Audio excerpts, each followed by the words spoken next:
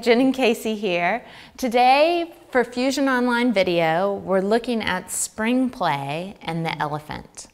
So the elephant is one of our kind of standard classical exercises that we see done in the studio all the time. And just with a change of spring, we can change the whole emphasis on the exercise. So it depends what you're trying to do with your client. So today, let's have Casey come up into elephant. She's going to show you the right way to get on. So hand, foot, and the other foot, good. And backing it up.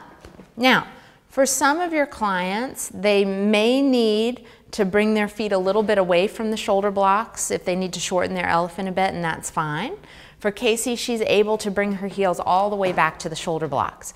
So one of the most important emphases on this exercise is the heels stay down, glued to the mat, even as the carriage goes away.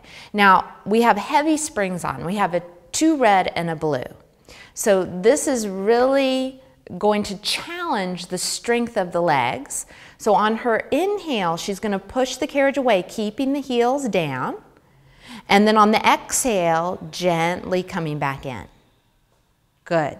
And deep inhale. And exhale, scooping the carriage back in.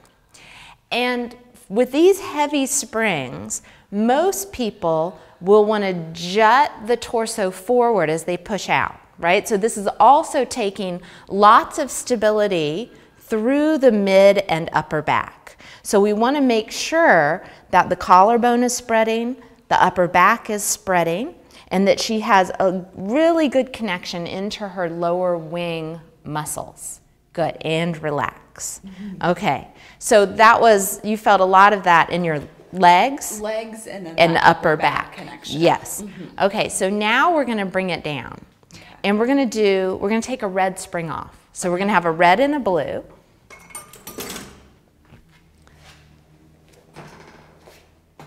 And so now with this spring setup, we're looking at going towards more of those challenging the stability muscles and the balance muscles and really finessing the organization of what's happening with the spine and the pelvis. So the heels still stay down and she'll do an inhale and it's a smallish movement, exhale coming in.